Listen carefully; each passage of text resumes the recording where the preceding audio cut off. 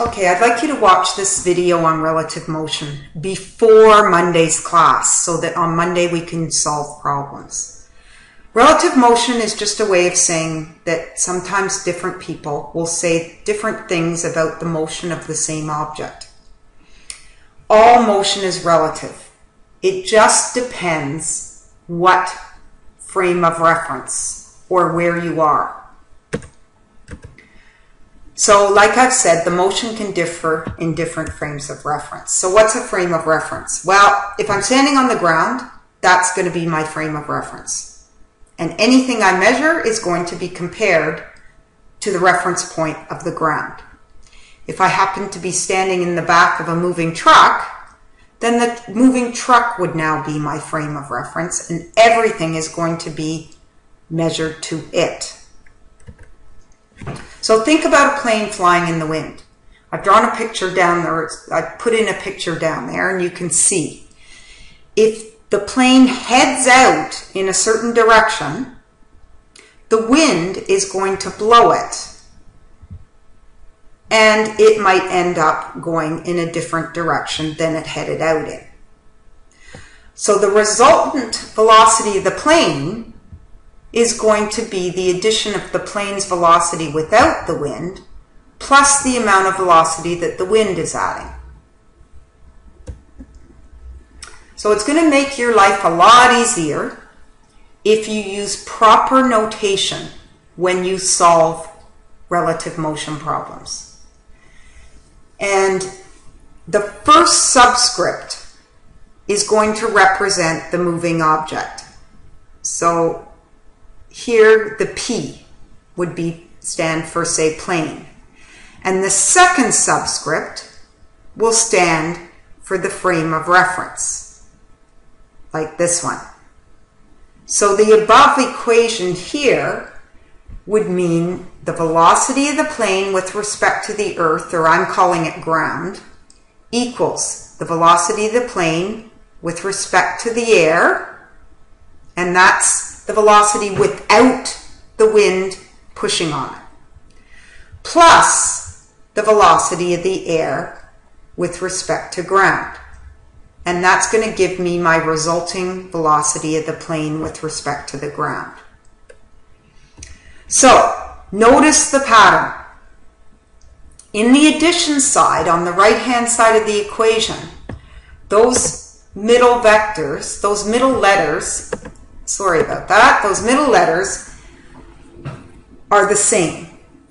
In the resultant subscripts, they become the outside subscripts of the equation in the addition. So now I'd like you to try and take the following four vectors, try to rearrange them in proper relative motion equation notation and see if you can come up with some sort of equation that makes sense. So I'm going to show you on the next slide the solution. You may want to pause here so that you can try it yourself. So did you get something like this? Notice that the resultant, the AX, are the outside subscripts of the equation on the right. And those middle ones are the ones that match. So now some terminology. You're going to notice that in many of the problems, they use something and they ask you to find something called heading. This is the angle that the moving object heads out in. It is not the resultance angle. So in a plane or wind problem, it's the angle of the vector VPA. It's the angle that the plane headed out in. It is not the angle of the result. If we have a question with a swimmer who's swimming in water, but the water current is pushing them another way, then the heading will be the angle of the vector velocity of swimmer with respect to water. It will not be the resultant velocity. So now, the last thing I want to show you is just a problem taken from an old Nelson textbook. See if you can do it.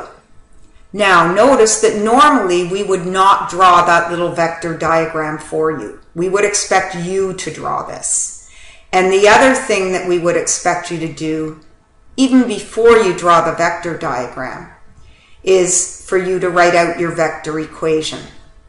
So it would be VCS, or velocity of canoe with respect to shore, equals velocity of the canoe with respect to the water, plus the velocity of the water with respect to shore. These two vectors will add up to give me what direction the canoeist really ended up traveling in. So I'd like you to try this yourself. And if you don't get it, then you can have a look at the, uh, the solution on the next slides. Um, but on Monday, I would like you to come to class having viewed this video and having gone through this problem. There are also some other good examples in your textbook on pages 45, 46, and 47.